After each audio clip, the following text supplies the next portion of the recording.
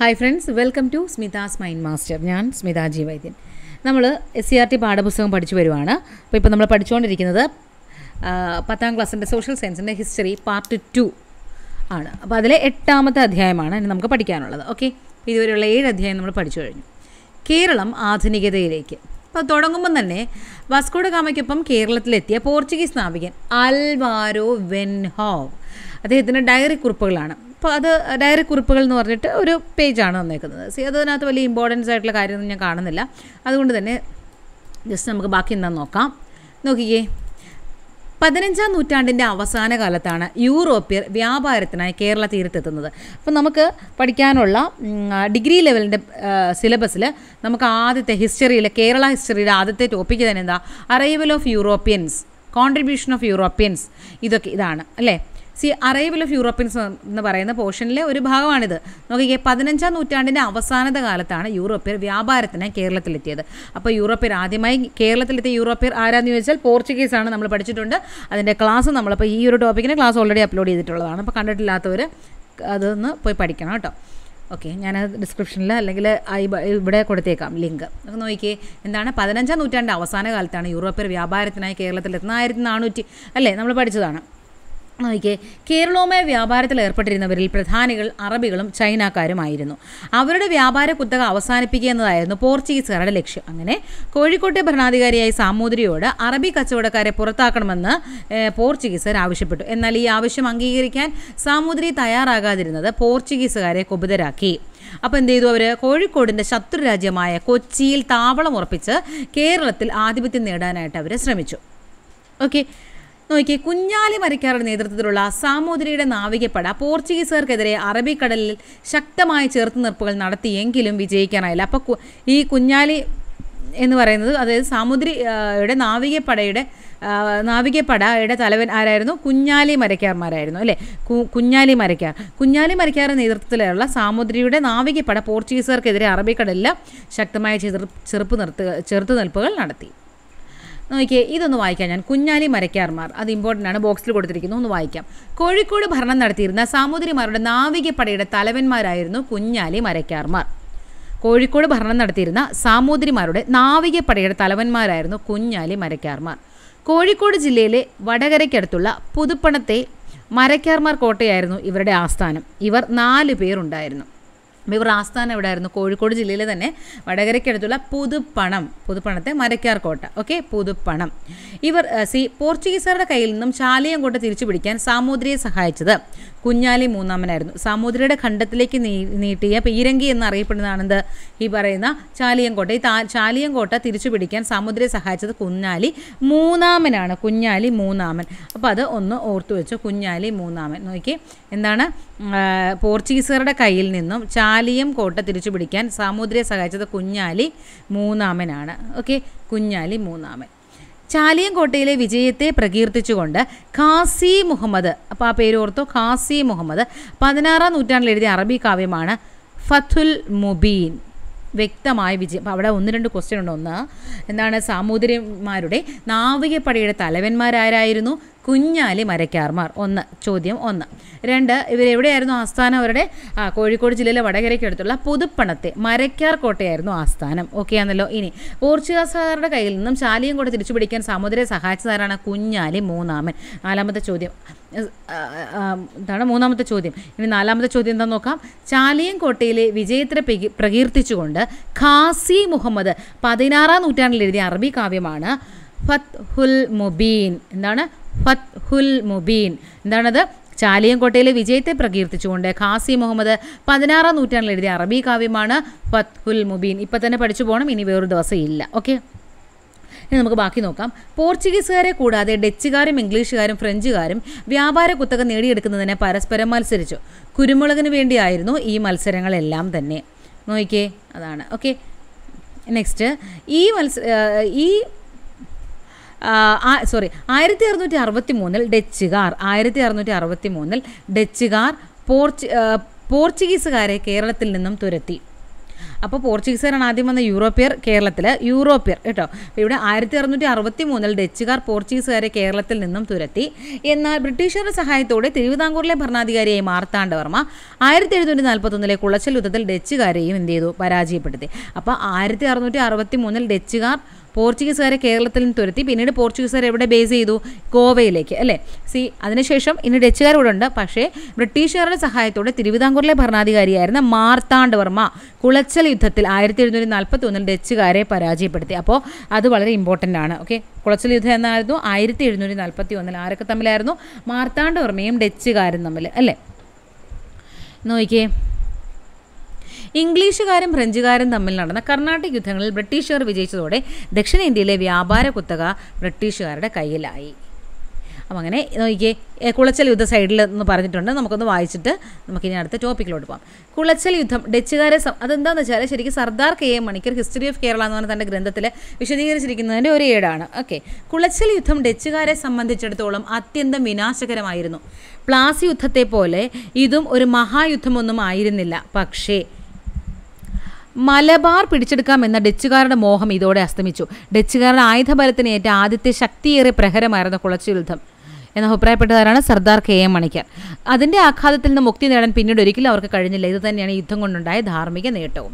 ഇനി നോക്കിയാൽ east India English east India company കേരളത്തിലേക്ക്.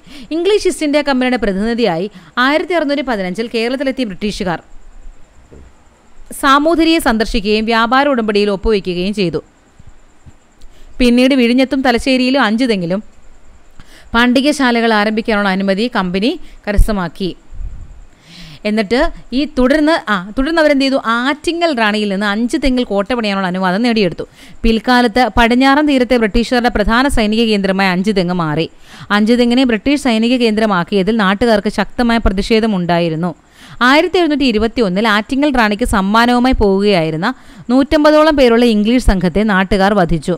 ഇത് ആറ്റിങ്ങൽ കലാപം എന്നറിയപ്പെട്ടു. അപ്പോൾ ആറ്റിങ്ങൽ കലാപവും ഇമ്പോർട്ടന്റ് ആണ് അതിന്റെ വർഷം പഠിക്കണം. ആയിരത്തി എഴുന്നൂറ്റി ഇരുപത്തൊന്ന് ഇനി മറ്റൊരു കാര്യം ഇവിടെ ഉള്ള എന്താണെന്ന് വെച്ചാൽ അതായത് എന്താണെന്ന് വെച്ചാൽ സി നോക്കിയേ ബ്രിട്ടീഷർക്കെതിരെ കേരളത്തിൽ നടന്ന ആദ്യത്തെ സംഘടിത കലാപം ഏത്? ആറ്റിങ്ങൽ കലാപം ആയിരത്തി എഴുന്നൂറ്റി ഇരുപത്തൊന്ന് ഇമ്പോർട്ടന്റ് ആണ്.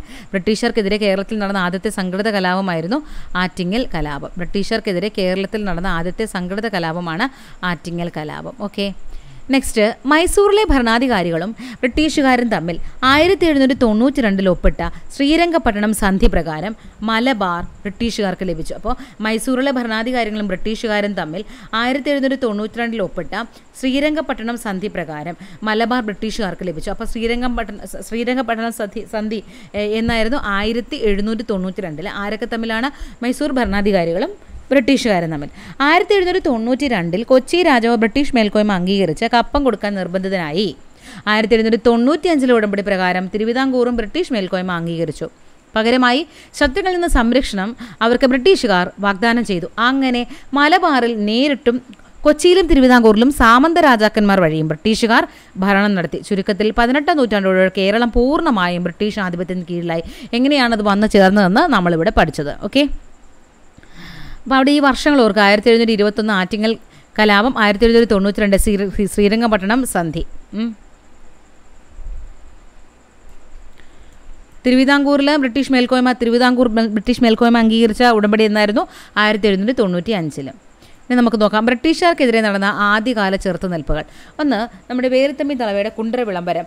അത് അതിനെ പറ്റിയിട്ടാണ് ഇവിടെ ഒരു എന്താ പറയുന്നത് ഒരു ബോക്സിൽ തന്നേക്കുന്നത് അന്യരുടെ രാജ്യങ്ങൾ വഞ്ചന കൊണ്ട് കൈയടക്കുന്നത് അവരുടെ വംശപാരമ്പര്യമാണ്. അങ്ങനെ ഒരു രാജ്യം അവരുടെ കൈപ്പിടിയിൽ അമർന്നാൽ അവരുടെ പട്ടാളം അവിടുത്തെ രാജധാനിയും കോട്ടയും തങ്ങളുടെ രക്ഷാശാസ് ശാസനത്തിൽ കൊണ്ടുവരും. രാജാവിന്റെയും ആഭിജാത വർഗത്തിന്റെയും പരമ്പരാഗതമായ അന്തസ്സും പദവികളും ആചാരാനുഷ്ഠാനങ്ങളും എല്ലാം അതോടെ അവസാനിക്കും. ഉപ്പുൾപ്പെടെയുള്ള എല്ലാ വ്യാപാരങ്ങളും അവരുടെ കുത്തകയാകും. വസ്തുക്കളും വീടും വയലും ഫലവൃക്ഷത്തോട്ടങ്ങളും അവരുടേതാകും. ഏറ്റവും നിസാരമായ കുറ്റങ്ങൾക്ക് പോലും അവരുടെ നികൃഷ്ട അവരുടെ നികൃഷ്ട ജന്മാക്കളെ കിങ്കരന്മാർ കഠിന ശിക്ഷ നൽകും.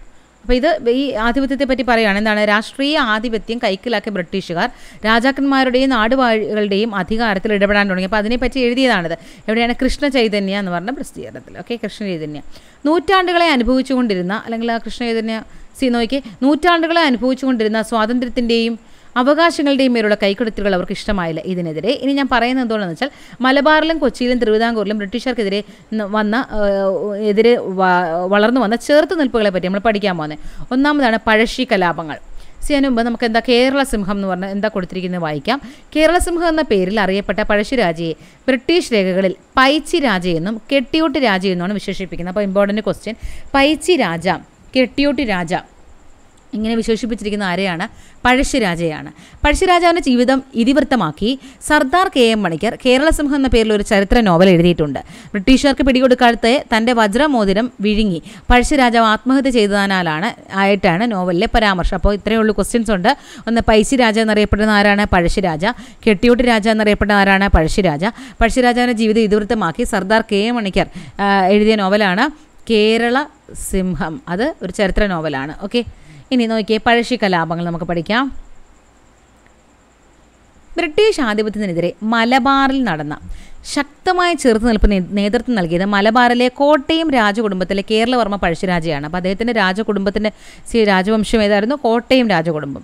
മൈസൂറിലെ ഭരണാധികാരികൾക്കെതിരെ ബ്രിട്ടീഷുകാരെ സഹായിച്ചതിന് പകരമായി കോട്ടയം പ്രദേശത്തെ നികുതി പിരിക്കാനുള്ള അധികാരം ബ്രിട്ടീഷുകാർ പഴശ്ശിരാജയ്ക്ക് വാഗ്ദാനം ചെയ്തിരുന്നു. അപ്പോൾ ബ്രിട്ടീഷ് ആധിപത്യത്തിനെതിരെ മലബാറിൽ നടന്ന ശക്തമായ ചെറുത്തുനിൽപ്പിന് നേതൃത്വം നൽകിയത് മലബാറിലെ കോട്ടയം രാജകുടുംബത്തിലെ കേരളവർമ്മ പഴശ്ശിരാജയാണ്. സി എന്തായിരുന്നു അതിന്റെ പ്രത്യേകിച്ചും പഴശ്ശിരാജ ഇതിനെതിരെ തിരിയാൻ ഇവർക്കെതിരെ പ്രധാനമായും തിരിയാനുള്ള പ്രധാന കാരണം എന്ന് വെച്ചാൽ മൈസൂറിലെ ഭരണാധികാരികൾക്ക് എതിരെ ബ്രിട്ടീഷുകാരെ സഹായിച്ചതിന് പകരമായി. മൈസൂരിലെ ഭരണാധികാരികൾക്കെതിരെ ബ്രിട്ടീഷുകാരെ സഹായിച്ചതിന് പകരമായി. കോട്ടയം പ്രദേശത്ത് നികുതി പിരിക്കാനുള്ള അവകാശം ബ്രിട്ടീഷുകാർ പഴശ്ശിരാജയ്ക്ക് വാഗ്ദാനം ചെയ്തിരുന്നു. എന്നാൽ വിജയിച്ച ശേഷം കാര്യങ്ങളൊക്കെ നടന്നു അല്ലേ? വിജയിച്ചു അദ്ദേഹത്തിന്റെ സഹായത്തോടെ. പക്ഷേ വിജയിച്ച ശേഷം വാഗ്ദാനം നിറവേറ്റാൻ ബ്രിട്ടീഷുകാർ തയ്യാറായില്ല. മാത്രവുമല്ല വയനാടിനുമേൽ ബ്രിട്ടീഷുകാർ അവകാശവാദം ഉന്നയിക്കുകയും കൂടി ചെയ്തു. ഇതിനെതിരെ പഴശ്ശിരാജ ജനങ്ങളെ സംഘടിപ്പിച്ച ബ്രിട്ടീഷുകാർക്കെതിരെ പോരാടി. ആരൊക്കെയായിരുന്നു അദ്ദേഹത്തെ സഹായിച്ചിരുന്നതെന്ന് പറഞ്ഞാൽ ചെമ്പൻ പോക്കർ ചെമ്പൻ പോക്കർ കൈതേരി അമ്പു നായർ എടച്ചേന കുങ്കൻ നായർ വയനാട്ടിലെ കുറിച്ച് നേതാവായ തലയ്ക്കൽ ചന്തു എന്നിവരുടെ സഹായത്താൽ പഴശ്ശി ശക്തമായ ഒളിപ്പോർ നടത്തി. പോരാട്ടത്തിനിടയിൽ ആയിരത്തി എണ്ണൂറ്റി അഞ്ച് നവംബർ മുപ്പതിന് പഴശ്ശി വധിക്കപ്പെട്ടു ആയിരത്തി എണ്ണൂറ്റി അഞ്ച് നവംബർ മുപ്പത്. അപ്പോൾ പഴശ്ശി സ്മാരക സ്ഥിതി ചെയ്യുന്ന എവിടെയാണ്? മാനന്തവാടി. ഓക്കെ? അപ്പോൾ ഇത് പഠിച്ചു വെച്ചേക്കാം. നെക്സ്റ്റ് വേലിത്തമ്പയും പാലിയത്തച്ഛനും. തിരുവിതാംകൂറിന്റെയും കൊച്ചിയുടെയും ആഭ്യന്തര കാര്യങ്ങളിൽ ബ്രിട്ടീഷുകാർ അനിയന്ത്രിതമായി ഇടപെട്ടതിന് എതിരായാണ് ദിവാൻമാരായ വേലത്തമ്പി ദളവയും പാലിയത്തച്ഛനും പ്രതിഷേധിച്ചത്. എന്താണ്? അതായത് തിരുവിതാംകൂറിന്റെയും കൊച്ചിയുടെയും ആഭ്യന്തര കാര്യങ്ങൾ ബ്രിട്ടീഷുകാർ അനിയന്ത്രിതമായി ഇടപെട്ടതിനാലാണ് ദിവാൻമാരായ വേൽത്തമ്പി ദളവയും പാലിയത്തച്ഛനും പ്രതിഷേധിച്ചത്. അതിൽ ആയിരത്തി എണ്ണൂറ്റി ഒൻപത് ജനുവരി പതിനൊന്നിന് ആയിരത്തി എണ്ണൂറ്റി ഒൻപത് ജനുവരി പതിനൊന്നിന് പുറത്തിറങ്ങിയ കുണ്ടറ വിളംബരത്തിലൂടെ. അപ്പോൾ കുണ്ടറ വിളംബരം പുറത്തിറങ്ങിയതെന്നാണ് പുറത്തിറക്കിയതെന്നാണ് ആരാണ്? വേൽത്തമ്പി തളവ എന്നാണ് ആയിരത്തി എണ്ണൂറ്റി ഒൻപത് ജനുവരി പതിനൊന്നിന്. വേലുത്തമ്പി ബ്രിട്ടീഷുകാർക്കെതിരെ അങ്ങനെ എന്ത് ചെയ്തു? കുണ്ടര വിളംബത്തിലൂടെ ആയുധമെടുത്തു. പോരാടാൻ ആയുധമെടുത്ത് പോരാടാൻ വേണ്ടി ജനങ്ങളോട് ആഹ്വാനം ചെയ്തു. തിരുവിതാംകൂറിന്റെയും കൊച്ചിയുടെയും സംയുക്ത സൈന്യം ബ്രിട്ടീഷ് പ്രസിഡന്റ് മെക്കാളയുടെ ഔദ്യോഗിക വസതി ആക്രമിച്ചു. പക്ഷേ ബ്രിട്ടീഷ് സൈന്യത്തിന് മുന്നിൽ പിടിച്ചു നിൽക്കാൻ ഇവർക്കായില്ല. പിടിച്ച് പിടിക്കപ്പെടുമെന്ന് ഉറപ്പായപ്പോൾ വേലുത്തമ്പി ദളവ മണ്ണടിയിലെ ക്ഷേത്രത്തിൽ വെച്ച് ആത്മഹത്യ ചെയ്തു. അരിശം തീരാത്ത ബ്രിട്ടീഷുകാർ. വേൽത്തമ്പി തലവയുടെ മൃതദേഹം തിരുവനന്തപുരത്തെ കണമൂലയിൽ കെട്ടിത്തൂക്കി. പാലിയത്തച്ഛനെ മദ്രാസിലേക്ക് നാട് കടത്തി. ഈ മണ്ണടി എന്ന് പറയുന്ന ഏത് ജില്ലയിലാണ്?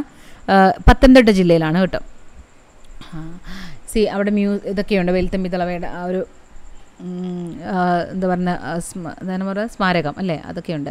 വേലുത്തമ്പി തലവയുടെ മൃതശരീരം തിരുവനന്തപുരത്തെ കണ്ണമൂലിൽ കെട്ടിത്തൂക്കി പാലിയത്തച്ഛനെ മദ്രാസിലേക്ക് നടുകടത്തി ഇതാണ് പാലിയത്തച്ഛന്റെ പിക്ചർ ഓക്കെ നോക്കിയേ അങ്ങനെ എന്ത് ചെയ്യുന്നു? ഇവർ ബ്രിട്ടീഷുകാരോട് എതിർത്തു എങ്കിലും ഈ സി ഇവരെ എന്ത് ചെയ്തു?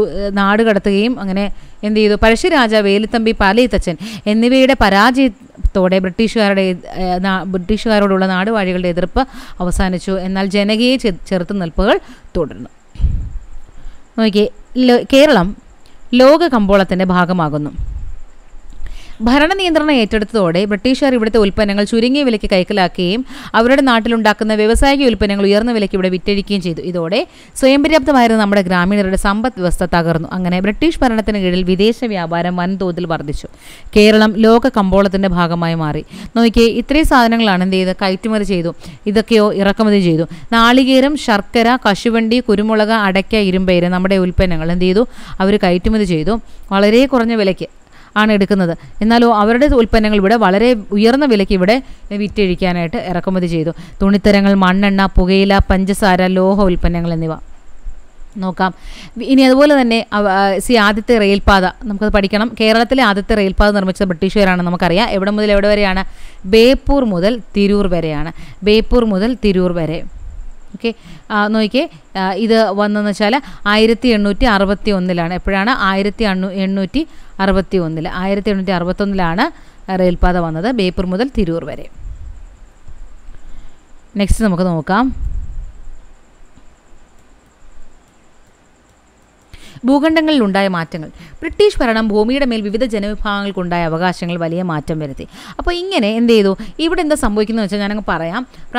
പ്രാദേശിക നാടുവാഴികളെയും ജന്മിമാരെയും ഭൂവുടമകളെ കണക്കാക്കുകയും അവർ ബ്രിട്ടീഷുകാർക്ക് കൊടുക്കേണ്ട നികുതി മുൻകൂട്ടി നിശ്ചയിക്കുകയും ചെയ്തു. അപ്പോൾ അങ്ങനെ എന്ത് ചെയ്യുന്നു? ഈ ജന്മിമാരും നാടുവാഴികളും കുടിയാന്മാരുടെ മേൽ നികുതി ഭാരം അടിച്ചേൽപ്പിക്കുകയും കൃഷിക്കാരെ കുടിയൊഴിപ്പിക്കുകയൊക്കെ ചെയ്തു. ഇതോടെ മലബാറിലെ കർഷകരുടെ ജീവിതം ഭയങ്കര കഷ്ടത്തിലായി. ഇതിനെതിരെയൊക്കെ നമ്മൾ ഈ നടന്ന കലാപങ്ങളൊക്കെ ഉണ്ട്. നമ്മൾ മുമ്പ് പഠിച്ചിട്ടുണ്ട് അല്ലേ? സി നോക്കിയേ നമ്മൾ പഠിച്ചു മാപ്പിള കലാപങ്ങളെ കുറിച്ച് അന്വ- അന്വേഷിക്കാൻ നിയമിച്ച ലോഗൻ കമ്മീഷൻ എന്നൊക്കെ നമ്മൾ പഠിച്ചില്ലേ? സി അങ്ങനെ ഇതിന്റെ അടിസ്ഥാനത്തിൽ ആയിരത്തി തൊള്ളായിരത്തി ഇരുപത്തൊമ്പതിൽ മലബാർ കുടിയാന്മാ നിയമം നടപ്പിലാക്കി. അപ്പോൾ അവിടുത്തെ ക്വസ്റ്റ്യൻ ഇത്രയേ ഉള്ളൂ.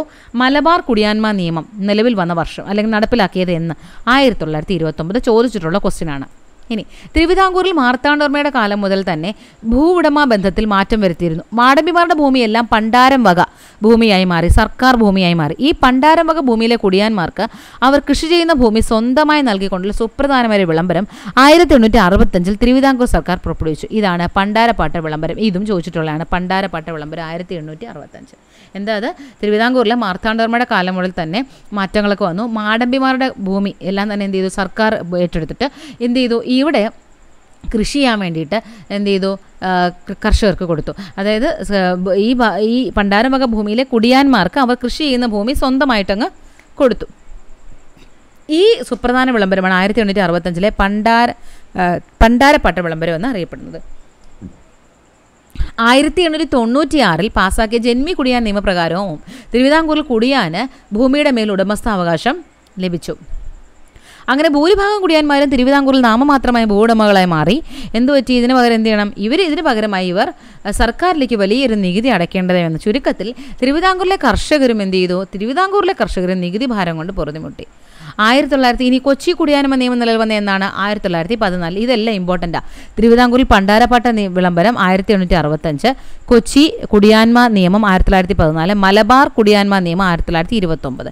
പണ്ടാരപ്പാട്ട വിളംബരം ആയിരത്തി എണ്ണൂറ്റി അറുപത്തഞ്ച് ഇനി ജന്മി കുടിയാൻ നിയമം തിരുവിതാംകൂറിൽ പാസ്സാക്കിയത് ആയിരത്തി എണ്ണൂറ്റി തൊണ്ണൂറ്റി ആറിൽ കാർഷിക മേഖലയിലെ വാണിജ്യവൽക്കരണം. നോക്കിക്കേ ബ്രിട്ടീഷ് ആധിപത്യം കേരളത്തിലെ കാർഷിക രീതിയിൽ വലിയ മാറ്റങ്ങൾക്ക് വഴിതെളിച്ചു. കേരളീയ ഉൽപ്പന്നങ്ങൾക്ക് വിദേശ കമ്പോളത്തിൽ ധാരാളം ആവശ്യക്കാരുണ്ടായിരുന്നു. മലയോര പ്രദേശങ്ങളിൽ കാപ്പി തേയില ഏലം റബ്ബർ എന്നിവ വൻകിട തോട്ടങ്ങളായി കൃഷി ചെയ്യാൻ തുടങ്ങി. മറ്റു വിളകൾ കൃഷി ചെയ്തതോടെ നെല്ലിന്റെ ഉൽപ്പാദനം കുറയുകയും നമ്മൾക്ക് എന്തുണ്ടായിരുന്നു നെല്ലായിരുന്നു അല്ലേ? നമ്മുടെ പ്രധാനപ്പെട്ട കൃഷി. പല പ്രദേശങ്ങളിലും ഇത് ഭക്ഷ്യക്ഷാമത്തിന് കാരണമായി. ഇതിന് പരിഹാരമായി എന്ത് ചെയ്തു? മരച്ചീനി കൃഷി വ്യാപിച്ചു.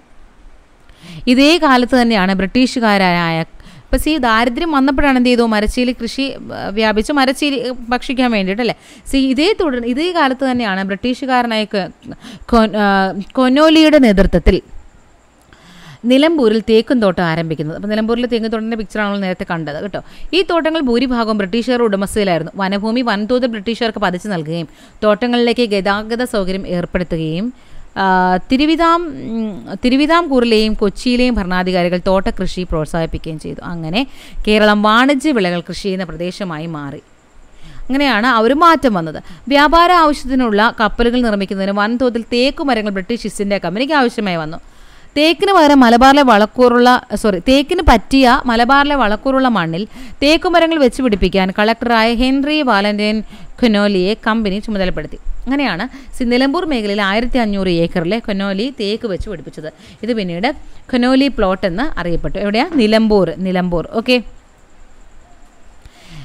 തോ തോട്ട വ്യവസായത്തിന്റെയും പരമ്പരാഗത വ്യവസായത്തിന്റെയും വളർച്ച. തോട്ട വിളകൾ സംസ്കരിക്കുന്നതിനും സംസ്കരിക്കുന്നതിനും കയറ്റി അയക്കുന്നതിനുമായി ബ്രിട്ടീഷുകാർ കേരളത്തിൽ ഫാക്ടറികൾ സ്ഥാപിച്ചു.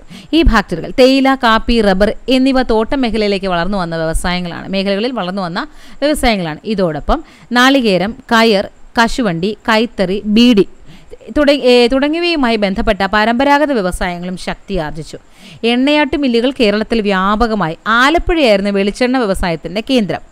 ആയിരത്തി എഴുന്നൂറ്റി അമ്പത്തൊമ്പതിൽ ആദ്യത്തെ കയർ ഫാക്ടറി ആലപ്പുഴയിൽ സ്ഥാപിതമായി. ഈ ഈ ഒരു ക്വസ്റ്റ്യൻ സി മെയിൽ എന്ന് പറഞ്ഞ ഇത് ചോദിച്ചിട്ടുണ്ട് കേട്ടോ. ആയിരത്തി എണ്ണൂറ്റി അമ്പത്തി ഒൻപതിൽ ആദ്യത്തെ കയർ ഫാക്ടറി ആലപ്പുഴയിൽ സ്ഥാപിതമായി. കശുവണ്ടി ഫാക്ടറികൾ കൊല്ലം കേന്ദ്രമായി വളർന്നു വന്നു. ഫറോക്ക് കൊല്ലം ഒല്ലൂർ തുടങ്ങിയ പ്രദേശങ്ങളിൽ ഓട്ട് കമ്പനികളും കണ്ണൂരും കോഴിക്കോടും കൈത്തറി നിർമ്മാണശാലകളും ആരംഭിച്ചു. ബീഡി വ്യവസായം എവിടാണ്? കണ്ണൂർ കേന്ദ്രമായി വളർന്നു വന്നു. ആധുനിക വ്യവസായങ്ങളുടെ ഉദയം. ഇരുപതാം നൂറ്റാണ്ടിന്റെ പകുതിയോടെയാണ് ആധുനിക വ്യവസായശാലകൾ കേരളത്തിൽ സ്ഥാപിക്കപ്പെടുന്നത്. അവയിൽ ഭൂരിഭാഗവും തിരുവിതാംകൂറിലും കൊച്ചിയിലുമായിരുന്നു. ബ്രിട്ടീഷുകാർ വ്യവസായങ്ങൾക്ക് ആവശ്യമായ സാങ്കേതിക സാമ്പത്തിക സഹായങ്ങൾ നൽകി. പള്ളിവാസൽ വൈദ്യുത നിലയം സ്ഥാപിക്കപ്പെട്ടത് ആധുനിക വ്യവസായങ്ങളുടെ വളർച്ചയെ ത്വരിതപ്പെടുത്തി. അക്കാലത്ത് സ്ഥാപിക്കപ്പെട്ട മറ്റു വ്യവസായശാലകളാണ് താഴെയുള്ളത്. സി പുനലൂർ പേ പുനലൂർ പേപ്പർ മിൽ കൊല്ലം. ഇപ്പം ഇല്ല കേട്ടോ. Next കളമശ്ശേരിയിലെ FACT Ernakulam. F A C T അല്ലേ? Kundara ceramics Kollam. Rubber works Thiruvananthapuram. Tata oil mills Kochi. Alagappa തുണിമിൽ Kochi. അപ്പോൾ ഇത് ഈ ഒരു പേര് എവിടെയാണ് സ്ഥിതി ചെയ്യുന്നതെന്ന് പഠിക്കും പഠിച്ചോളൂ കേട്ടോ. അളകപ്പ തുണിമിൽ എവിടെയാണ് കൊച്ചി? ടാറ്റ ഓയിൽ മിൽസ് ഇവിടെ തന്നെയാണ് കൊച്ചിയിൽ തന്നെയാണ്. റബ്ബർ വർക്ക്സ് സ്റ്റാ- സ്ഥാപിക്കപ്പെട്ടത് Thiruvananthapuram. Kundara ceramics Kollam. Punalur paper mill Kollam. കളമശ്ശേരിയിലെ FACT F A C T Ernakulam. Okay. മൂലധനം സ്വരൂപിക്കുന്ന എന്നുള്ള പണമിടപാട് സ്ഥാപനങ്ങൾക്കായി ബാങ്കുകൾ ഇക്കാലത്ത് കേരളത്തിൽ വളർന്നു വന്നു. ആദ്യമായി രൂപം കൊണ്ട സ്വകാര്യ ബാങ്ക് ഏതാണ്? നെടുങ്ങാടി ബാങ്ക് ആയിരുന്നു. അപ്പോൾ കേരളത്തിൽ ആദ്യമായി രൂപം കൊണ്ട സ്വകാര്യ ബാങ്ക് ഏതാണ്? നെടുങ്ങാടി ബാങ്ക്. അത് ഇമ്പോർട്ടന്റ് ആണ്. തുടർന്ന് imperial bank Indian national bank chartered bank എന്നിവ നിലവിൽ വന്നു. സാംസ്കാരിക മേഖലയിലെ ബ്രിട്ടീഷ് സ്വാധീ- സ്വാധീനം. അപ്പോൾ അത് ഇമ്പോർട്ടന്റ് ആയിട്ട് ഒന്ന് രണ്ട് കാര്യങ്ങളിലൂടെ ഉണ്ട്. നമുക്ക് നോക്കാം. യൂറോപ്യന്മാരുടെ വരവോടെയാണ് കേരളത്തിൽ അച്ചടി ആരംഭിച്ചത്. മലയാളത്തിൽ വ്യാകരണ ഗ്രന്ഥങ്ങളും നിഘണ്ടുവും തയ്യാറാക്കുന്നതിൽ കൂടുതൽ താല്പര്യം പ്രകടിപ്പിച്ചിരുന്നത് ജസ്യൂട്ട് മിഷണറിമാരാണ്. ഡോക്ടർ ആഞ്ചലോസ് ഫ്രാൻസിസ് ആണ് മലയാളത്തിലെ ആദ്യ വ്യാകരണ ഗ്രന്ഥം ഗ്രന്ഥം തയ്യാറാക്കിയത്. നല്ലൊരു ചോദ്യമാണ്. സി ആരാണ്? മലയാളത്തിലെ ആദ്യത്തെ വ്യാകരണ ഗ്രന്ഥം തയ്യാറാക്കിയത് ആരാണ്? ഡോക്ടർ ആഞ്ചലോസ് ഫ്രാൻസിസ് പഠിച്ച് മലയാളത്തിലെ ആദ്യ വ്യാകരണ ഗ്രന്ഥം തയ്യാറാക്കിയത് ഡോക്ടർ ആഞ്ചലോസ് ഫ്രാൻസിസ്. മലയാളത്തിലെ ആദ്യ വ്യാകരണ ഗ്രന്ഥം തയ്യാറാക്കിയത് ഡോക്ടർ ആഞ്ചലോസ് ഫ്രാൻസിസ്. മലയാള ഭാഷയിലെ ആദ്യ നിഘണ്ടു രൂപപ്പെടുത്തിയത് അർണോസ് പാതിരി. അപ്പോൾ എന്തോ നമ്മൾ വ്യത്യാസം നോക്കിയേ.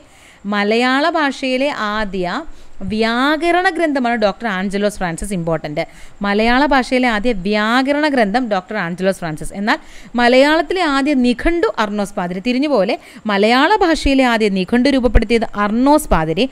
മലയാള ഭാഷയിലെ ആദ്യ വ്യാകരണ ഗ്രന്ഥം ഡോക്ടർ ആഞ്ചലോസ് ഫ്രാൻസിസ്. ഇപ്പോൾ ഡോക്ടർ ആഞ്ചലോസ് ഫ്രാൻസിസ് വ്യാകരണ ഗ്രന്ഥവും മലയാള ഭാഷയിലെ ആദ്യ നിഘണ്ടുവാണെങ്കിൽ അർണോസ് പാതിരി. ഇനി മലയാള ഭാഷയിൽ അച്ചടിച്ച ആദ്യത്തെ സമ്പൂർണ ഗ്രന്ഥമാണ് സംക്ഷേപ വേദാർത്ഥം ഇമ്പോർട്ടന്റ് ആണ്. അത് അടുത്തത് എന്താണ്? മലയാള ഭാഷയിൽ അച്ചടിച്ച ആദ്യ സമ്പൂർണ ഗ്രന്ഥം ഏതാണ്? സംക്ഷേപ വേദാർത്ഥം. അപ്പോൾ മൂന്ന് ചോദ്യം പഠിക്കാം. മലയാളത്തിലെ ആദ്യ വ്യാകരണ ഗ്രന്ഥം തയ്യാറാക്കിയത് ഡോക്ടർ ആഞ്ചലോസ് ഫ്രാൻസിസ്. മലയാള ഭാഷയിലെ ആദ്യ നിഘണ്ടു രൂപപ്പെടുത്തിയത് അർണോസ് പാതിരി. മലയാള ഭാഷയിൽ അച്ചടിച്ച ആദ്യത്തെ സമ്പൂർണ ഗ്രന്ഥമാണ് സംക്ഷേപ വേദാർത്ഥം. ക്ലിയർ ആയല്ലോ? മിഷണറിയായ Benjamin Bailey English Malayalam നിഘണ്ടുവും. Doctor Hermann Gundert Malayalam English നിഘണ്ടുവും പ്രസിദ്ധപ്പെടുത്തി. അപ്പം അത് മല ഇംഗ്ലീഷ് മലയാളം നിഘണ്ടു ആരാണ് ബെഞ്ചമിൻ ബേലി മലയാളം ഇംഗ്ലീഷ് നിഖണ്ഡുവാണ് Hermann Gundert. Doctor ഹെമ്മൻ Hermann Gundert തലശ്ശേരിയിൽ നിന്ന് പ്രസിദ്ധപ്പെടുത്തിയ രാജ്യസമാചാരം പശ്ചിമോദയം എന്നിവ മലയാളത്തിലെ ആദ്യ പത്രങ്ങളാണ്. മലയാളത്തിലെ ആദ്യ പത്രം എന്ന് ചോദിച്ചാൽ രാജ്യസമാചാരം പിന്നെ പശ്ചിമോദയമുണ്ട് ആദ്യത്തത് രാജ്യസമാചാരം ഓക്കെ. മിഷനറി സംഘം. പ്രവർത്തന മേഖല. ഇത് ചോദിച്ചിട്ടുള്ള ക്വസ്റ്റ്യൻസ് ആണ്. ലണ്ടൻ മിഷണറി സൊസൈറ്റി എവിടെയാണ് പ്രവർത്തിച്ചിരുന്നത്? തിരുവിതാംകൂറിലാണ് London missionary society L M S എന്ന് പറയുന്നത് തിരുവിതാംകൂറിലാണ്. സി നമുക്ക് എൽ എം എസ് സ്ഥാപനങ്ങളൊക്കെ നമുക്കിവിടെ കാണാൻ സാധിക്കും തിരുവിതാംകൂറിൽ ചർച്ച് മിഷൻ സൊസൈറ്റിയോ സി എം എസ്. അത് കൊച്ചി തിരുവിതാംകൂർ. കൊച്ചിയിലും തിരുവിതാംകൂറിലും ഉണ്ട് അപ്പോൾ സി എം എസ് എവിടെ നമുക്കിവിടെ കാണാൻ പറ്റും? കൊച്ചിയിൽ അതുപോലെ തന്നെ തിരുവിതാംകൂർ. ഇനി B E M Basel evangel commission എവിടെയാണ്? സി മലബാർ നമുക്ക് കാണാം. നോക്കിയാൽ L M S Thiruvithamkoor C M S കൊച്ചിയിലും ഉണ്ട് തിരുവിതാംകൂറിലും ഉണ്ട്. B E M O base Basel evangelical mission മലബാറിൽ. ഓക്കെ? ജാതിമത ഭേദമന്യേ എല്ലാവർക്കും വിദ്യാഭ്യാസം എന്ന ആശയത്തിന് കേരളത്തിൽ തുടക്കം കുറിക്കുന്നത് മിഷണറിമാരുടെ വിദ്യാഭ്യാസ പ്രവർത്തനങ്ങളിലൂടെയാണ് മിഷണറിമാരുടെ വിദ്യാഭ്യാസ പ്രവർത്തനങ്ങളിലൂടെയാണ്. വിദ്യാഭ്യാസ സ്ഥാപനങ്ങൾ ആരംഭിക്കാൻ തിരുവിതാംകൂറിലെയും കൊച്ചിയിലെയും ഭരണാധികാരികൾ മിഷണറി സംഘങ്ങൾക്ക് ഭൂമി ദാനമായി നൽകി. തിരുവിതാംകൂറിലെയും കൊച്ചിയിലെയും നാട്ടുരാജാക്കന്മാരും വിദ്യാഭ്യാസ രംഗത്ത് ഇടപെടുകയും സ്കൂളുകളും കോളേജുകളും സ്ഥാപിക്കുകയും ചെയ്തു. തിരുവിതാംകൂറിലെ ഭരണാധികാരിയായിരുന്ന ഗൗരി പാർവതി ഭായ് ആയിരത്തി എണ്ണൂറ്റി പതിനേഴിൽ പ്രൈമറി വിദ്യാഭ്യാസം സൗജന്യമാക്കിക്കൊണ്ട് പുറപ്പെടുവിച്ച വിളംബരം ശ്രദ്ധേയമാണ്. അപ്പോൾ തിരുവിതാ ആരാണ്? ആയിരത്തി എണ്ണൂറ്റി പതിനേഴിലാണ് പ്രൈമറി വിദ്യാഭ്യാസം സൗജന്യമാക്കിയത് ആരാണ്? ഗൗരി പാർവതി ഭായ് തിരുവിതാംകൂറിലെ ഭരണാധികാരിയായിരുന്ന ഗൗരി പാർവതി ഭായ് അവരുടെ ചിത്രമാണ് ഇവിടെ നമുക്ക് കാണാൻ പറ്റുന്നത്. എന്താണ്? തിരുവിതാംകൂറിലെ ഭരണാധികാരി ആയിരുന്ന ഗൗരി പാർവതി ഭായ് ആയിരത്തി എണ്ണൂറ്റി പതിനേഴിൽ പ്രൈമറി വിദ്യാഭ്യാസം സൗജന്യമാക്കി. തിരുവിതാംകൂറിലെ ഭരണാധികാരിയായിരുന്ന ഗൗരി പാർവതി ഭായ് തിരുവിതാംകൂറിൽ പ്രൈമറി വിദ്യാഭ്യാസം സൗജന്യമാക്കിയത് ആയിരത്തി എണ്ണൂറ്റി പതിനേഴിൽ ആരാണ്? ഗൗരി പാർവതി ഭായ് പ്രൈമറി വിദ്യാഭ്യാസം പാർവതി ഭായ് കേട്ടോ? ബ്രിട്ടീഷുകാരുടെ വരവിന് മുമ്പ് കേരളത്തിൽ നിലനിന്നിരുന്ന ശിക്ഷാവിധികളെക്കുറിച്ച് നമ്മൾ പഠിച്ചു. അക്കാലത്ത് കുറ്റാരോപിതന്റെ ജാതി അടിസ്ഥാനമാക്കിയാണ് വിചാരണയും ശിക്ഷയും നടപ്പാക്കിയിരുന്നത്. ഈ നീതിന്യായ വ്യവസ്ഥ വ്യവസ്ഥയെ ബ്രിട്ടീഷുകാർ പരിഷ്കരിച്ചു. കുറ്റവാളിയുടെ വാദം കേട്ട ശേഷം കുറ്റത്തിന്റെ സ്വഭാവം അനുസരിച്ച് ഏകീകൃതമായ ശിക്ഷാവിധികൾ നടപ്പിലാക്കാൻ തുടങ്ങി. ഇതോടെ ജാതിക്കതീതമായി നിയമത്തിനു മുമ്പിൽ എല്ലാവരും തുല്യരായി. കേസുകളുടെ വിചാരണയ്ക്കായി വിവിധ സ്ഥലങ്ങളിൽ കോടതികൾ സ്ഥാപിച്ചു. ബ്രിട്ടീഷ് ഭരണത്തോടെ കേരളത്തിലെ പരമ്പരാഗത ആയുർവേദ ചികിത്സാ രീതിയേക്കാൾ ആധുനിക വൈദ്യശാസ്ത്രത്തിന് പ്രാധാന്യം ലഭിച്ചു. വസൂരി തടയാനുള്ള കുത്തിവയ്പ് ആദ്യമായി നടത്തിയത് എവിടെയാണ് മലബാറിലാണ്. വസൂരി തടയാനുള്ള കുത്തിവയ്പ് ആദ്യമായി നടത്തിയത് എവിടെയാണ് മലബാറിലാണ്. ഇക്കാലത്ത് തിരുവിതാംകൂറിലേക്ക് ഇംഗ്ലണ്ടിൽ നിന്ന് മരുന്ന് വരുത്താൻ ഒരു കമ്പനിയെ തന്നെ രാജാവ് നിയമിച്ചു. മലബാർ തിരുവിതാംകൂർ കൊച്ചി എന്നിവിടങ്ങളിൽ സർക്കാർ ആശുപത്രികൾ സ്ഥാപിച്ചു. കേരളത്തിലെ ചില സമുദായങ്ങൾ നിലനിന്നിരുന്ന പിന്തുടർച്ചാക്രമം മാതാവ് വഴിയുള്ള മരുമക്കത്തായമായിരുന്നു. ഇംഗ്ലീഷ് വിദ്യാഭ്യാസം സിദ്ധിച്ച യുവാക്കൾ ഇതിനെതിരെ ശക്തമായി പ്രതികരിക്കുകയും കോടതികളിൽ വ്യവഹാരങ്ങൾ ഫയൽ ചെയ്യുകയും ചെയ്തു. അങ്ങനെ തിരുവിതാംകൂറിലും മലബാറിലും കൊച്ചിയിലും മരുമക്കത്തിനായ മരുമക്കത്തായത്തിന് എതിരായ നിയമങ്ങൾ നിലവിൽ വന്നു. മരുമക്കത്തായ സമ്പ്രദായത്തിന് ഈ നിയമങ്ങൾ സമ്പ്രദായത്തിലാണ് ഈ നിയമങ്ങൾ ഊന്നൽ സോറി മരുമക്കത്തായ നിയമങ്ങൾ അതിനെതിരായിട്ടുള്ള നിയമങ്ങൾ വന്നു. പിന്നീട് വന്നത് മക്കത്തായ സമ്പ്രദായത്തിനാണ് നമ്മൾ ഇന്ന് കാണുന്നത്. ഓക്കെ ഇത് പ്രകാരം തറവാട്ടിലെ എല്ലാ അംഗങ്ങൾക്കും സ്വത്തിന് മേൽ അവകാശം ലഭിച്ചു. ഇത് തറവാട് കൂട്ടുകുടുംബം എന്നിവയുടെ തകർച്ചയ്ക്ക് കാരണമായി. ഇനി നോക്കിയേ പരിഷ്കരണ പ്രസ്ഥാനങ്ങളും സാമൂഹ്യ മാറ്റങ്ങളും. കേരളം ഒരു ഭ്രാന്താലയം എന്ന് പറയുന്നവരാണ് സ്വാമി വിവേകാനന്ദൻ. മലബാറിൽ ഞാൻ കണ്ടതിനേക്കാൾ കവിഞ്ഞൊരു വിഡ്ഢിത്തം ഇതിനു മുമ്പ് എവിടെയും കണ്ടിട്ടില്ല. മലബാർ എന്ന് ഉദ്ദേശിച്ചത് കേരളം എന്ന അർത്ഥത്തിൽ. സവർണൻ നടക്കുന്ന വഴിയിൽ കൂടി അവർണന് നടന്നുകൂടാ. ഈ മലബാറുകാരെല്ലാം ഭ്രാന്തന്മാരാണ്. അവരുടെ വീടുകൾ അത്രയും ഭ്രാന്താലയങ്ങൾ. ഇപ്പോൾ കേരളം ഒരു ഭ്രാന്താലയം എന്ന് പറയുന്നത് സ്വാമി വിവേകാനന്ദൻ. നോക്കിയേ പത്തൊമ്പതാം നൂറ്റാണ്ടിൽ സി ജാതി വ്യവസ്ഥയുടെ കാർക്കശ്യം അക്കാലത്ത് കേരളത്തിൽ ശക്തമായിരുന്നു. താഴ്ന്ന ജാതിക്കാരെ തൊട്ടുകൂടാത്തവരും തീണ്ടിക്കൂടാത്തവരുമായാണ് കണക്കാക്കിയിരുന്നത്. ഒരു വ്യക്തിയുടെ സമൂഹത്തിലെ പദവി തീരുമാനിച്ചിരുന്നത് ജനിച്ച ജാതിയെ അടിസ്ഥാനമാക്കിയായിരുന്നു. ഓരോ ജാതിയിലും ധാരാളം അന്ധവിശ്വാസങ്ങളും അനാചാരങ്ങളും നിലനിന്നിരുന്നു. ആധുനിക വിദ്യാഭ്യാസത്തിന്റെ പ്രചാരവും പാശ്ചാത്യ ആശയങ്ങളുള്ള സമ്പർക്കവും മൂലം ജാതി വ്യവസ്ഥയുടെയും അന്ധവിശ്വാസങ്ങളുടെയും യുക്തിരാഹിത്യം കേരളീയർക്ക് ബോധ്യമായി. അങ്ങനെ സമൂഹത്തിലെ അസമത്വങ്ങൾക്കും അനാചാരങ്ങൾക്കും അനാചാരങ്ങളും അസമത്വങ്ങളും ഇല്ലാതാക്കാൻ പരിഷ്കരണ പ്രസ്ഥാനങ്ങൾ രൂപം കൊണ്ടു. അപ്പോൾ ഈ ഇനി പറയാൻ പോകുന്ന ഇത് ഭയങ്കര ഇമ്പോർട്ടന്റ് ആയിട്ടുള്ള ഒന്ന് രണ്ട് കാര്യങ്ങളാണ് പഠിച്ചു വെച്ചോ എന്താണ്? സാമൂഹ്യ പരിഷ്കർത്താക്കളും അവർ സ്ഥാപിച്ച പ്രസ്ഥാനങ്ങളിലെ അവരുടെ പ്രവർത്തനങ്ങളും. വൈകുണ്ഠ സ്വാമികളാണ് സമത്വ സമാജം സ്ഥാപിച്ചത്. ആയിരത്തി എണ്ണൂറ്റി മുപ്പത്തി ആറിൽ എന്നാണ് വൈകുണ്ഠ സ്വാമികൾ സമത്വ സമാജം ചട്ടമ്പി സ്വാമികൾ കൂട്ടുകുടുംബ വ്യവസ്ഥ സംബന്ധം മരുമക്കത്ത എന്നിവയ്ക്കെതിരെ പോരാടി. ശ്രീനാരായണ ഗുരു നമുക്കറിയാം ശ്രീനാരായണ ധർമ്മ പരിപാലന യോഗം. വൈകുണ്ഠസ്വാമികൾ സമത്വ സമാജം വളരെ ഇമ്പോർട്ടന്റ് ആണ്. കുര്യാക്കോസ് ഏലിയാസ് ചാവർ അനാഥാലയങ്ങളും വിദ്യാലയങ്ങളും സ്ഥാപിച്ചു. ഇനി സാധുജന പരിപാലന സംഘം ആരുടെയാണ്? ആരാണ് സ്ഥാപിച്ചത്? അയ്യങ്കാളി. അപ്പോൾ സമത്വ സമാജം വൈകുണ്ഠ സ്വാമികൾ ശ്രീനാരായണ ധർമ്മ പരിപാലന യോഗം ശ്രീനാരായണ ഗുരു സാധുജന പരിപാലന സംഘം അയ്യങ്കാളി. സാധുജന പരിപാലന സംഘം അയ്യങ്കാളി. തിരുവിതാംകൂർ മുസ്ലിം മഹാജനസഭ. അതാണ് തിരുവിതാംകൂർ മുസ്ലിം മഹാജനസഭ. ആരാണ്? വക്കം അബ്ദുൽ ഖാദർ മൗലവി. തിരുവിതാംകൂർ മുസ്ലിം മഹാജനസഭ വക്കം അബ്ദുൽ ഖാദർ മൗലവി. ആത്മവിദ്യാസംഘം വക്ഫടാനന്ദൻ. ആത്മ Anandan. Atmavidya Sangham വക്ഫടാനന്ദൻ. Sahodara Prasthanam Sahodaran Ayyappan. Araya Samajam Pandit K P Karuppan. N S S അഥവാ Nair service society Mannathu Padmanabhan. Yogakshema Sabha V T Bhattathiripad പ്രത്യാശ രക്ഷാ ദേവസഭ കുമാരഗുരുദേവൻ അപ്പോൾ ഇതൊക്കെ ഇമ്പോർട്ടന്റ് ആണ്. ഇത് ഒരുമാതിരിപ്പെട്ട എല്ലാവരും ഇതിനോടകം തന്നെ സി ആദ്യം തന്നെയൊക്കെ പഠിക്കുന്നതാണ് പ്രിപ്പറേഷൻ തുടങ്ങുമ്പോൾ ഒക്കെ തന്നെ നമ്മൾ പഠിച്ചിട്ടുള്ളതാണ്. എന്തെങ്കിലും എങ്കിലും പഠിക്കാത്തവർ ഇത് വളരെ ഇമ്പോർട്ടന്റ് ആയിട്ട് പഠിച്ചുകൊണ്ടിരിക്കും പഠിക്കേണ്ടത് അത്യാവശ്യമാണ് കേട്ടോ. സോ ഇമ്പോർട്ടന്റ് ആണ് ഇമ്പോർട്ടന്റ് നോക്കിയേ ദൈവദശകവും ആത്മോപദേശ ശതകവും. ആഴമേറുന്നിൻ മഹസാമാഴിയിൽ ഞങ്ങളാകവേ ആഴണം വാഴണം നിത്യം വാഴണം വാഴണം സുഖം. ശ്രീനാരായണ ഗുരു നൂറ് വർഷം മുമ്പ് രചിച്ച പ്രാർത്ഥനാഗീതമായ ദൈവദശകത്തിൽ നിന്നുള്ള വരികളാണിവ. നോക്കിയേ ഈ ഒരു വരികൾ തന്നിരിക്കുന്നതുകൊണ്ട് ഒന്ന് വായിച്ച് പഠിച്ചു വെക്കുന്നത് നല്ലതാണ്.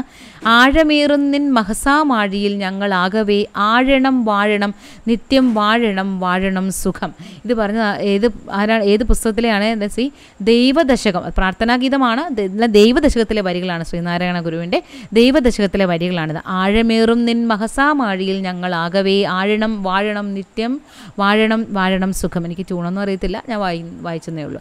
ഇനി നോക്കി അടുത്തത് ഭയങ്കര ഇമ്പോർട്ടന്റ് ആണ്. ഇതും ചോദിക്കും വരികൾ ഏത് പുസ്തകത്തിലെയാണെന്ന് ഏത് ഗ്രന്ഥത്തിലെയാണെന്ന്. നോക്കാം നമുക്ക്.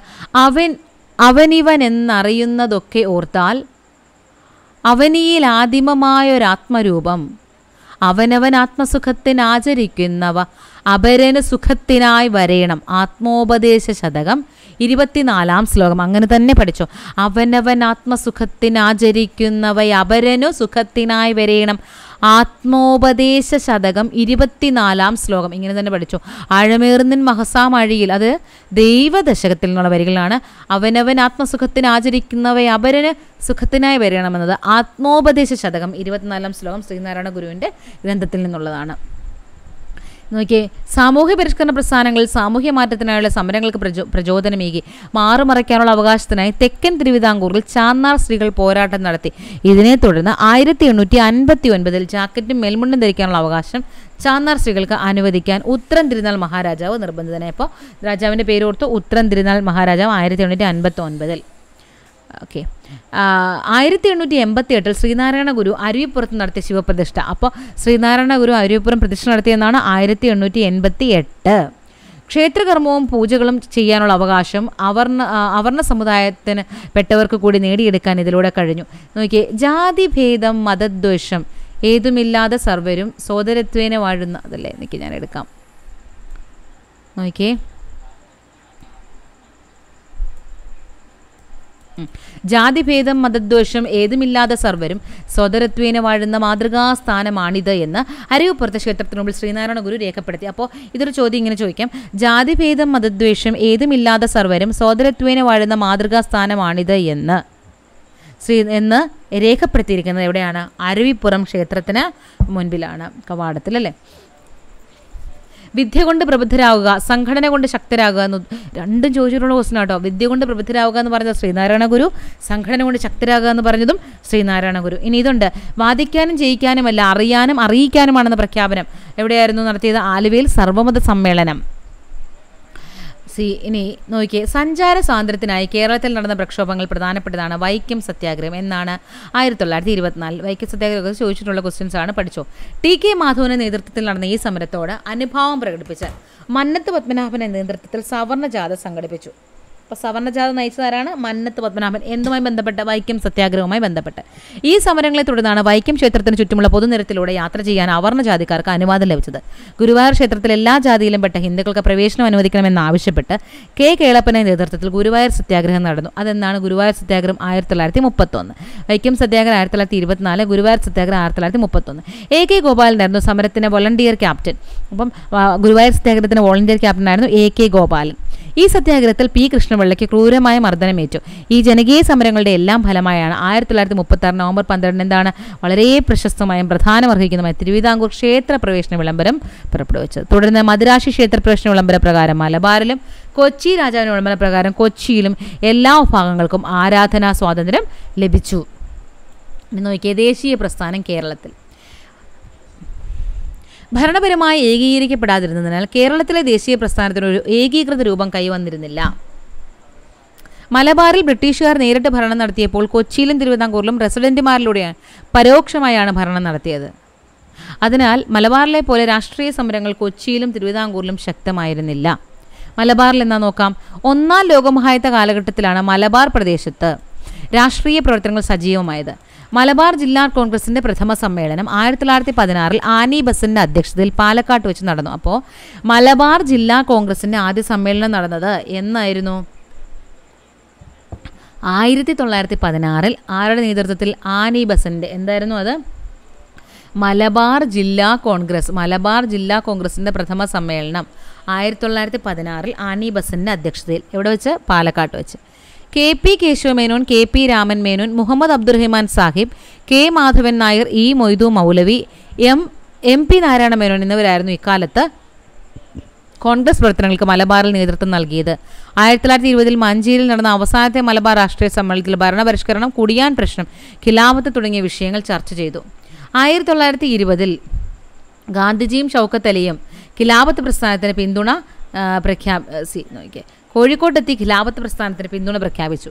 കട്ടിലശ്ശേരി മുഹമ്മദ് മൗലവി പ്രസിഡന്റായും മുഹമ്മദ് അബ്ദുറഹ്മാൻ സാഹിബ് സെക്രട്ടറിയായും ഖിലാഫത്ത് കമ്മിറ്റി രൂപീകരിച്ചു. അപ്പോൾ ഖിലാഫത്ത് കമ്മിറ്റിയുടെ president Kattilassery Muhammad Moula Muhammad Moulavi president Muhammad Muhammad Abdurahiman Sahib secretary. Khilafat പ്രസ്ഥാനം മലബാറിൽ ശക്തിപ്പെട്ടു. അതേ തുടർന്ന് മലബാറിൽ പലയിടത്തും ബ്രിട്ടീഷുകാരുമായി നേരിട്ടുള്ള ഏറ്റുമുട്ടലുകളുണ്ടായി. ഏറനാട് വള്ളുവനാട് പൊന്നാനി താലൂക്കുകളിലായി മലബാറിലെ കർഷകരായ മാപ്പിളമാർ ശക്തമായ പോരാട്ടങ്ങൾക്ക് നേതൃത്വം നൽകി. ഈ സമരങ്ങളെയാണ് മലബാർ കലാപം എന്ന് വിശേഷിപ്പിച്ചിരുന്നത്. എന്നായിരുന്നു ആയിരത്തി തൊള്ളായിരത്തി ഇരുപത്തി ഒന്നിൽ ആയിരത്തി തൊള്ളായിരത്തി മുപ്പതുകളിൽ നിയമലംഘന പ്രസ്ഥാനം മലബാറിൽ ശക്തമായി. കെ. കേളപ്പന്റെ നേതൃത്വത്തിൽ പയ്യന്നൂരിലും മുഹമ്മദ് അബ്ദുറഹ്മാന്റെ നേതൃത്വത്തിൽ കോഴിക്കോടിലും ഉപ്പ് നിയമം ഉപ്പ് നിയമം ലംഘിച്ച് ഉപ്പുണ്ടാക്കി. അപ്പോൾ ഇത് നോക്കിക്കോണേ. അപ്പോൾ എവിടെയൊക്കെയാണ് ആരൊക്കെയാണ് നേതൃത്വം കൊടുത്തതെന്ന് ഇവിടെ പഠിച്ചോ. പയ്യന്നൂരിൽ കെ. കേളപ്പനും കോഴിക്കോട് മുഹമ്മദ് അബ്ദുറഹ്മാനും.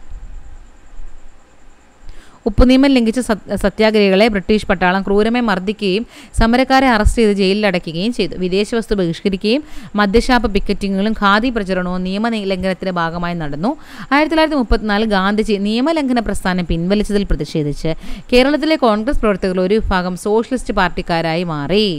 ആയിരത്തി തൊള്ളായിരത്തി മുപ്പത്തൊമ്പതിൽ കോൺഗ്രസ് സോഷ്യലിസ്റ്റ് പാർട്ടി കമ്മ്യൂണിസ്റ്റ് പാർട്ടിയെ രൂപം കൊണ്ടു. നോക്കിയാൽ അതാണ് E M S A K Gopalan P Krishnapillai എന്നിവരായിരുന്നു പ്രമുഖ കമ്മ്യൂണിസ്റ്റ് നേതാക്കന്മാർ. അപ്പോൾ communist party communist C Congress socialist party communist പാർട്ടിയെ രൂപപ്പെട്ടത് കണ്ടോ? ഓക്കെ നോക്കിയേ ഇനി. പ്രമുഖ അവർ കർഷകരെയും തൊഴിലാളികളെ സംഘടിപ്പിച്ച് ജന്മിത്തത്തിനും ബ്രിട്ടീഷ് സാമ്രാജ്യത്തിനുമെതിരെ സമരസജ്ജരാക്കി. കയ്യൂർ മൊറാഴ കരിവള്ളൂർ എന്നിവിടങ്ങളിൽ കർഷക സംഘത്തിന്റെ നേതൃത്വത്തിൽ സമരങ്ങൾ നടന്നു.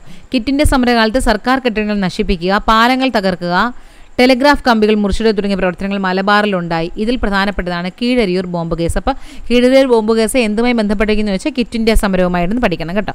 ഫറോക്ക് പാലം തകർക്കാൻ കെ ബി മേനോൻ കുഞ്ഞിരാമ കിടാവ് എന്നിവരുടെ നേതൃത്വത്തിൽ ഗൂഢാലോചന നടന്നുവെന്ന് ആരോപിച്ച് ഇരുപത്തി ഇരുപത്തേഴ് പേരെ ചേർത്ത് കേസ് ഫയൽ ചെയ്തു.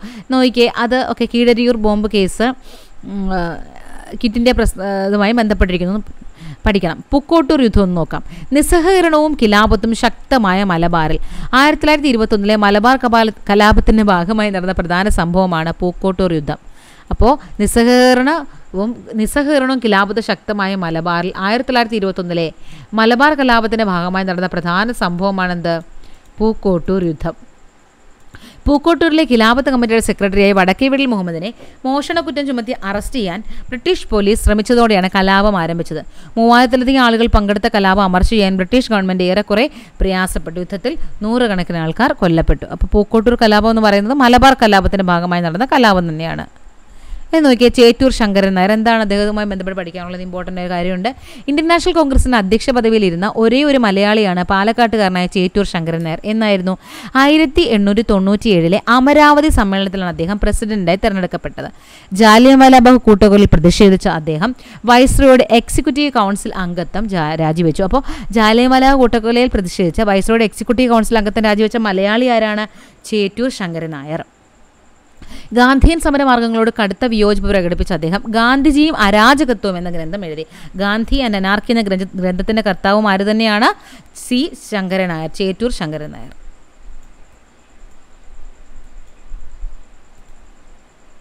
ആ നോക്കിക്കേ ഇത് മലബാർ കലാപത്തെക്കുറിച്ചുള്ള പടപ്പാട്ടാണ്. വായിച്ചു വെച്ചിരുന്നാൽ മതി. ഓക്കെ. സീതെന്ന് വെച്ചാൽ മലബാർ കലാപത്തെ അടിച്ചമർത്തിയ ജില്ലാ പോലീസ് മേധാവി ഹിച്ച്കോക്കിനെ കലാപകാരികൾ കൊലപ്പെടുത്തി. ബ്രിട്ടീഷ് ഗവൺമെന്റ് അദ്ദേഹത്തിനൊരു സ്മാരകം നിർമ്മിച്ചു. ഇത് പൊളിച്ചു മാറ്റണമെന്നാവശ്യപ്പെട്ട് സമരത്തിൽ പങ്കെടുത്ത കമ്പളത്ത് ഗോവിന്ദൻ നായർ എഴുതിയ പാട്ടാണ് മലബാർ കലാപത്തെക്കുറിച്ചുള്ള ഈ പടപ്പാട്ടെന്ന് പറയുന്നത്. കേട്ടോ? കമ്പളത്ത് ഗോവിന്ദൻ നായർ എഴുതിയ പാട്ടാണ്. തിരുവിതാംകൂർ. നോക്കി തിരുവിതാംകൂറിൽ രാഷ്ട്രീയ പ്രക്ഷോഭത്തിന്റെ ആരംഭം കുറിക്കുന്നത് ആയിരത്തി എണ്ണൂറ്റി തൊണ്ണൂറ്റി ഒന്നിലെ മലയാളി മെമ്മോറിയലോട് കൂടിയാണ്. അപ്പോൾ മലയാളി മെമ്മോറിയലിന്റെ വർഷം പഠിച്ചു ആയിരത്തി എണ്ണൂറ്റി തൊണ്ണൂറ്റി ഒന്ന് സർക്കാർ ജോലികളിൽ തിരുവിതാംകൂർക്കാർക്ക് മതിയായ പ്രാതിനിധ്യം ആവശ്യപ്പെട്ട് ബാരിസ്റ്റർ ജി പി പിള്ളയുടെ നേതൃത്വത്തിൽ പതിനായിരത്തിലധികം പേർ ഒപ്പിട്ട മെമ്മോറാണ്ടം മഹാരാജാവിന് സമർപ്പിച്ചു. ഇത് മലയാളി മെമ്മോറിയൽ എന്നറിയപ്പെട്ടു. ജി പി പിള്ളയുടെ നേതൃത്വത്തിൽ മലയാളി മെമ്മോറിയൽ. ഓക്കെ ആയിരത്തി എണ്ണൂറ്റി തൊണ്ണൂറ്റി ഒന്ന് ആയിരത്തി എണ്ണൂറ്റി തൊണ്ണൂറ്റിയാറിൽ ഡോക്ടർ പൽപു ഈഴവർ അനുഭവിക്കുന്ന പ്രയാസങ്ങൾ ചൂണ്ടിക്കാണിച്ച് ഈഴവ് മെമ്മോറിയലും രാജാവിന് സമർപ്പിച്ചു. തിരു- തിരുവിതാംകൂർ ദിവാനെ വിമർശിച്ചതിന്റെ പേരിൽ സ്വദേശാഭിമാനി പത്രത്തിന്റെ പത്രാധിപരായ രാമകൃഷ്ണ പിള്ളയെ നാട് കടത്തിയത് വലിയ രാഷ്ട്രീയ ചലനങ്ങൾ സൃഷ്ടിച്ചു. തിരുവിതാംകൂറിലുടനീളം വിദ്യാർത്ഥി പ്രക്ഷോഭങ്ങൾ വളർന്നു വന്നു. സർക്കാർ ഉദ്യോഗങ്ങളിലും നിയമസഭയിലും ജനസംഖ്യ ആനുപാതികമായി സംവരണം വേണമെന്നാവശ്യപ്പെട്ട് ക്രിസ്ത്യൻ മുസ്ലിം ഈഴവ സമുദായക്കാർ ആയിരത്തി തൊള്ളായിരത്തി മുപ്പത്തിരണ്ടിൽ നിവർത്തന പ്രക്ഷോഭം ആരംഭിച്ചു. അപ്പോൾ നിവർത്തന പ്രക്ഷോഭം എന്നായിരുന്നുള്ള അടുത്ത ക്വസ്റ്റ്യൻ ആയിരത്തി തൊള്ളായിരത്തി മുപ്പത്തിരണ്ട് സ്വദേശാഭിമാനി പത്രത്തിന്റെ പത്രാധിപരായിരുന്നു ആര്? സ്വദേശാഭിമാനി രാമകൃഷ്ണ പിള്ള. ഓക്കെ ഇനി നോക്കൂ അടുത്തത്. N V Joseph P K Kunju C Kesavan എന്നിവരുടെ നേതൃത്വത്തിലാണ് ഉത്തരവാദിത്ത ഭരണത്തിനായി ഈ സമരം നടന്നത്. ഇനി ആയിരത്തി തൊള്ളായിരത്തി മുപ്പത്തി എട്ടിൽ പട്ടം താണുള്ള പ്രസിഡന്റായി തിരുവിതാംകൂർ സ്റ്റേറ്റ് കോൺഗ്രസ് രൂപം കൊണ്ടതോടെ തിരുവിതാംകൂറിൽ രാഷ്ട്രീയ പ്രവർത്തനങ്ങൾ സജീവമാകാൻ തുടങ്ങി. പട്ടം താണുപിള്ള പ്രസിഡന്റായി തിരുവിതാംകൂർ സ്റ്റേറ്റ് കോൺഗ്രസ് രൂപം കൊണ്ടു ആയിരത്തി തൊള്ളായിരത്തി മുപ്പത്തി എട്ടിൽ Diwan C P sir Diwan sir C P Ramaswamy അയ്യരുടെ ഭരണപരിഷ്കാരങ്ങൾക്കെതിരെ ആയിരത്തി തൊള്ളായിരത്തി നാൽപ്പത്തി ആറ് നടന്ന പുന്നപ്ര വയലാർ സമരം അപ്പം പുന്നപ്ര വയലാർ സമരം എന്നായിരുന്നു?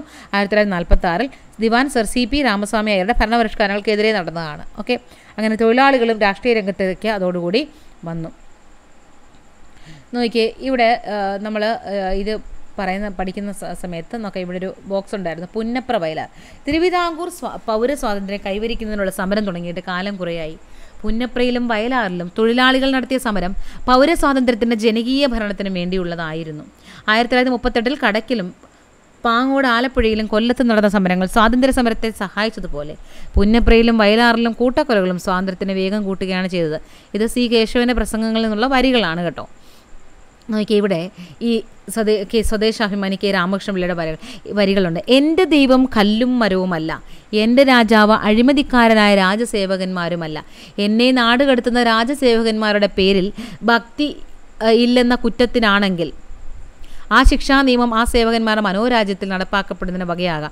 ഇങ്ങനെ പറയുന്ന ഈ വരികൾ. ഇപ്പം എന്റെ ദൈവം കല്ലും മരവുമല്ല എന്ന് പറഞ്ഞത് കെ രാമകൃഷ്ണപിള്ള. സി അങ്ങനെ പോകുന്നു. നോക്കിയേ കൊച്ചിയിൽ എന്താണ് നോക്കാം. ദിവാനായ ഷൺമുഖം ചെട്ടി വൈദ്യുതി വിതരണം സ്വകാര്യ കമ്പനി ഏൽപ്പിച്ചതിനെ തുടർന്ന് നടന്ന ഇലക്ട്രിസിറ്റി സമരം. അപ്പോൾ ഇതും ചോദിച്ചിട്ടുണ്ട് ഇലക്ട്രിസിറ്റി സമരം നടന്നതാണ് ആയിരത്തി എണ്ണൂറ്റി മുപ്പത്തി ആറ് കൊച്ചിയിൽ ഉത്തരവാദിത്ത ഭരണത്തിനായുള്ള പ്രക്ഷോഭങ്ങൾ ഇതോടുകൂടിയാണ് ആരംഭിക്കുന്നത്. എന്നാൽ തിരുവിതാംകൂറിലെ പോലെ കൊച്ചിയിൽ പ്രക്ഷോഭങ്ങൾ ശക്തമായിരുന്നില്ല. ആയിരത്തി തൊള്ളായിരത്തി നാൽപ്പത്തി ഒന്നിൽ S. Neelakanta Iyer V R Krishnan Ezhuthachan എന്നിവരുടെ നേതൃത്വത്തിൽ കൊച്ചി രാജ്യ പ്രജാമണ്ഡലം രൂപീകൃതമായി. അപ്പോൾ കൊച്ചി ഇതും ചോദ്യമാണ് കേട്ടോ. കൊച്ചി രാജ്യ പ്രജാമണ്ഡലം രൂപീകൃതമായത് ആയിരത്തി തൊള്ളായിരത്തി നാൽപ്പത്തൊന്നിൽ ആരൊക്കെ നേതൃത്വം നൽകിയത്? വി ആർ കൃഷ്ണൻ എഴുത്ത എഴുത്തച്ഛൻ എസ് നീലകണ്ഠ അയ്യർ. ഈ ഇക്കണ്ട വാര്യർ പനമ്പള്ളി ഗോവിന്ദ മേനോൻ കെ അയ്യപ്പൻ തുടങ്ങിയവരായിരുന്നു കൊച്ചി രാജ്യ പ്രജാമണ്ഡലത്തിന്റെ പ്രവർത്തനങ്ങൾക്ക് നേതൃത്വം നൽകിയത്. ഓക്കെ ഇത് ഇമ്പോർട്ടന്റ് ആണ്. ദേശീയ പ്രസ്ഥാനവും കേരളത്തിലെ സ്ത്രീകളും. പരീക്ഷയ്ക്ക് നമുക്ക് ഈ ഇടയ്ക്ക് നമ്മൾ കണ്ടുവരുന്നതാണ് അല്ലേ? ഇത് എങ്ങനെയാണ് വന്ന ഈ ക്വസ്റ്റ്യൻ എന്ന് വെച്ചാൽ നോക്കി നമുക്ക് നമുക്ക് ഇവിടെ പഠിക്കാനുണ്ട് അല്ലേ? സ്ത്രീകളും കേരളമൊട്ടാകെ രാഷ്ട്രീയ പ്രക്ഷോഭങ്ങൾ സജീവമായി പങ്കെടുക്കുകയും അവരുടെ രാഷ്ട്രീയ ബോധം പ്രകടിപ്പിക്കുകയും ചെയ്തിരുന്നു. വിദേശ വസ്ത്ര ബഹിഷ്കരണം മദ്യക്ഷാപ പിക്കറ്റിംഗ് ഐത്തോച്ചാടനം ഹരിജനോദ്ധാരണം ഖാദി പ്രചാരണം എന്നിവ സ്ത്രീ പങ്കാളിത്തം കൊണ്ട് ശ്രദ്ധേയമായിരുന്നു. നോക്കി എ വി കുട്ടിമാളു അമ്മയുടെ പഠനം നമുക്ക് കാണാം. അക്കമ്മ ചെറിയാൻ ആനി മസ്ക്രീൻ കണ്ടില്ലേ?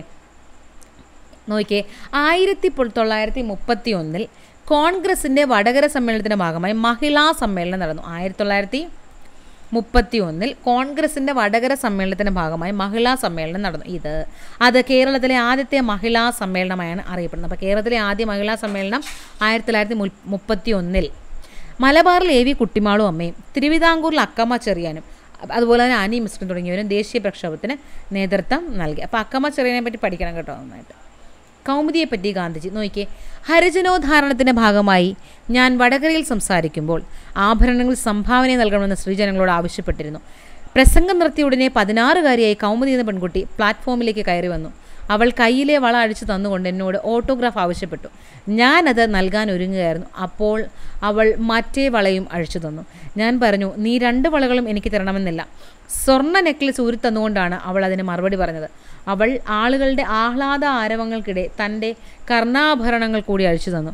ഈ ആഭരണങ്ങൾക്ക് പകരം ആഭരണങ്ങൾ വാങ്ങി അണിയേണ്ടതില്ലെന്ന് ഞാൻ കൗമുദി ഓർമ്മിപ്പിച്ചു. നിന്റെ ത്യാഗം നീ ഉപേക്ഷിച്ച ആഭരണങ്ങളേക്കാൾ സത്യസന്ധമായ ആഭരണമാണ് നിന്റെ ത്യാഗമെന്ന്. സി. കൗമുദി ടീച്ചർ ഇത് നമ്മൾ ഹരിത ഹരിജനോദ്ധാരണത്തിന്റെ ഭാഗമായി ഗാന്ധിജിക്ക് തന്റെ ആഭരണങ്ങൾ ഊരി നൽകിയതാണെന്ന് വെച്ചാൽ കൗമുദി ടീച്ചർ എന്ന് നമ്മൾ പഠിക്കുന്നതാണ്. ഓക്കെ ഇമ്പോർട്ടന്റ് ആണ്. ഐക്യ കേരളത്തിലേക്ക്. ഒരേ ഭാഷ സംസാരിക്കുന്നവരെങ്കിലും മലയാളികൾ മൂന്ന് വ്യത്യസ്ത ഭരണ മേഖലകളിലായി ഭിന്നിച്ചു കിടക്കുകയായിരുന്നു. ആയിരത്തി തൊള്ളായിരത്തി ഇരുപതിൽ നാഗ്പൂരിൽ ചേർന്ന കോൺഗ്രസ് സമ്മേളനം ഭാഷാടിസ്ഥാനത്തിൽ സംസ്ഥാന കോൺഗ്രസ് കമ്മിറ്റികൾ രൂപീകരിക്കാൻ തീരുമാനിച്ചു. നോക്കിയേ മുമ്പ് നമ്മളിത് വായിച്ചതാണ്.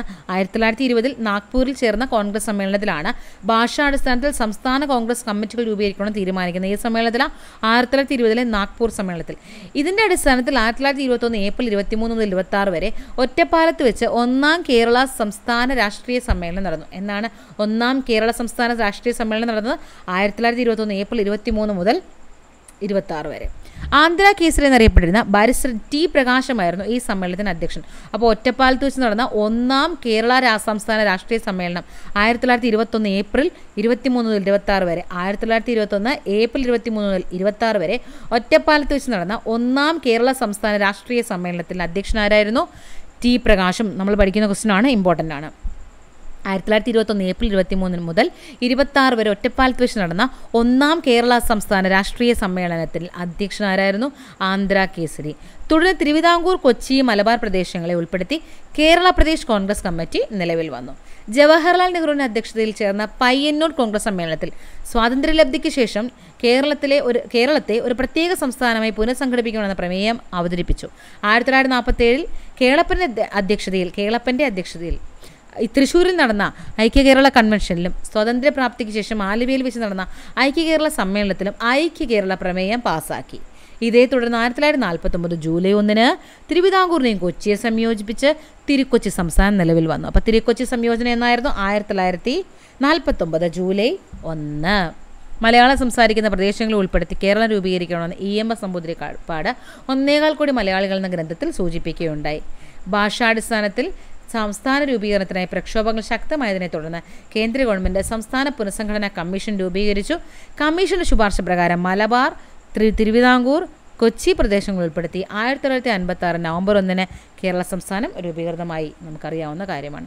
തിരുവിതാംകൂറിന്റെ ഭാഗമായിരുന്ന തോവാള അഗസ്തീശ്വരം കൽക്കുളം വിളവൻകോട് എന്നീ താലൂക്കുകൾ മദ്രാശി സംസ്ഥാനത്തിന് വിട്ടുകൊടുത്തു. ഏതൊക്കെയാണ് മദ്രാശി സംസ്ഥാനത്തിന് കൊടുത്തത് നമ്മളുടെ ഭാഗമായിരുന്നത് തോവാള അഗസ്തീശ്വരം കൽക്കുളം വിളവൻകോട്. തോവാള അഗസ്തീശ്വരം കൽക്കുളം വിളവൻകോട്. അതുപോലെ തെക്കൻ കർണാടകത്തിന്റെ ഭാഗമായിരുന്ന കാസർഗോഡ് ഹോസ്ദുർഗ് താലൂക്കിൽ കേരളത്തോട് കൂട്ടിച്ചേർക്കപ്പെട്ടു. ഐക്യ കേരള പ്രതിജ്ഞയാണ് കേട്ടോ കൊടുത്തേക്കുന്നത്. ആരാണ്? എൻ വി കൃഷ്ണവാര്യരാണ് ആരാണ് ഐക്യ കേരള പ്രതിജ്ഞ എഴുതിയത്? N V Krishna Krishnawarrier. മൂന്നായി മുറിഞ്ഞു കിടക്കും ഈ കേരളം ഒന്നാക്കും എന്ന പ്രതിജ്ഞ ചെയ്യുന്നു നാം എന്ന് പറഞ്ഞിട്ട്. ഓക്കെ? N V Krishnawarrier. അതും ഒരു ക്വസ്റ്റ്യൻ ആണ് കേട്ടോ. N V Krishnawarrier. ഇത്രയുമാണ് നമ്മൾ കേരളം ആധുനികതയിലേക്ക് എന്ന് പറഞ്ഞ് നമ്മൾ പഠിച്ചത്. കേരളം ആകുന്നത് വരെയുള്ള കാര്യങ്ങളാണ് നമ്മൾ പഠിച്ചിരിക്കുന്നത് കേരളം എങ്ങനെയാണ് രൂ സംസ്ഥാനം രൂപീകൃതമാകുന്നവരെ ഒരു വലിയൊരു ചാപ്റ്റർ ആയിരുന്നു. കുറച്ച് നേരമുണ്ട് ഇത് അപ്പം നിങ്ങൾ ഈ അവസാനം വരെ പഠിച്ചവർക്കുള്ളതാണ് ജോലി എന്ന് പറയുന്നത്. ഓക്കെ അപ്പോൾ നമുക്ക് അടുത്ത ക്ലാസ്സിൽ കാണാം. താങ്ക്